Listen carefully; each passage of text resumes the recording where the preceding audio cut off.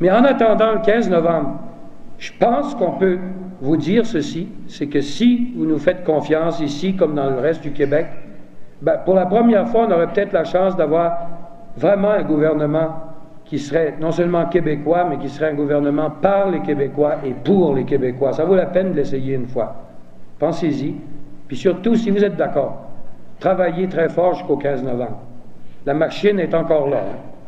Puis la machine n'est pas capable d'arrêter un très gros courant. Mais si le courant était juste suffisant, la machine, si on n'y fait pas attention, si on s'imagine comme il nous est déjà arrivé que parce qu'on a des belles assemblées que c'est gagné, on va encore se faire organiser, justement.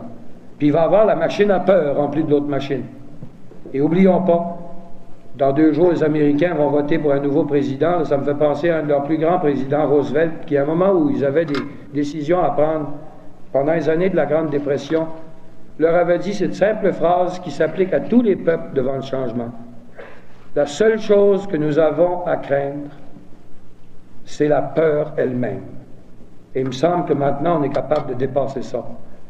Jusqu'au 15 novembre, bonne chance, puis on,